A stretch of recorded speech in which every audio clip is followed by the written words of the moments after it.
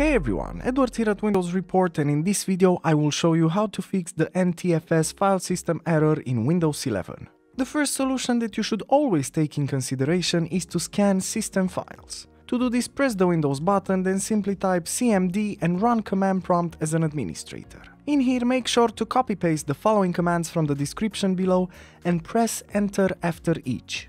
Now you just have to wait a bit until the scan is completed because it can take a bit of time as Windows will try to find any potential issues and fix them. But in the same time you can also run a disk scan. But you can also run a disk scan in the same command prompt. To do this just type the following command and press enter.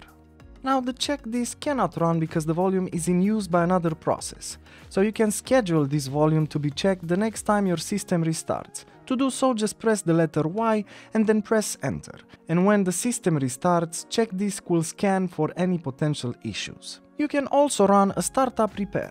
To do this press the Windows button and then click on the settings icon and then on the left pane make sure to select system and then on the right side scroll down until you find the recovery options. In here, just click on the Restart Now button next to Advanced Startup and then in the Advanced Startup options just select Troubleshoot, then click on Advanced Options to bring up the next menu which pertains to the Startup Repair. Now just choose the Startup Repair option to run the tool. Windows will now try to repair anything that's wrong about your system and fix it as soon as possible. Another useful solution is to rebuild the boot manager.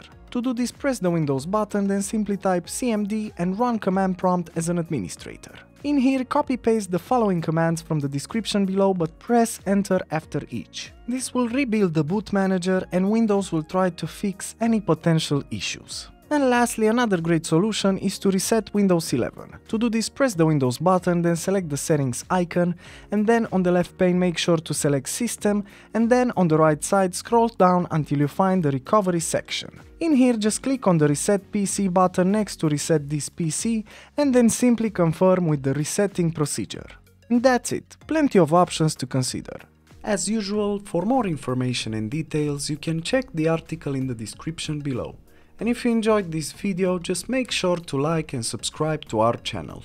Thank you.